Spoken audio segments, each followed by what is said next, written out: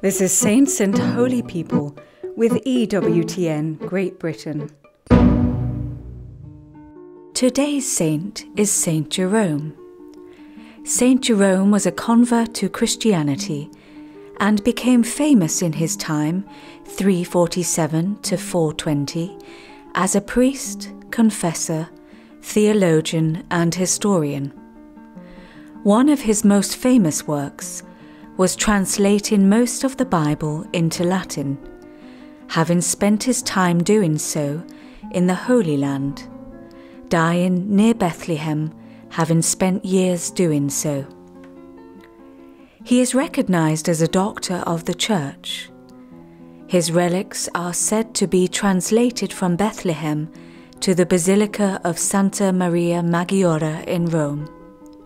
In art, Jerome is often represented as one of the four Latin doctors of the Church, along with Augustine of Hippo, Ambrose, and Pope Gregory I.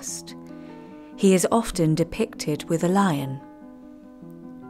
Prayer of Saint Jerome Show me, O Lord, your mercy, and delight my heart with it. Let me find you whom I so longingly seek? Behold, here is the man whom the robbers seized, manhandled, and left half dead on the road to Jericho. Kind hearted Samaritan, come to my aid. I am the sheep who wandered into the wilderness.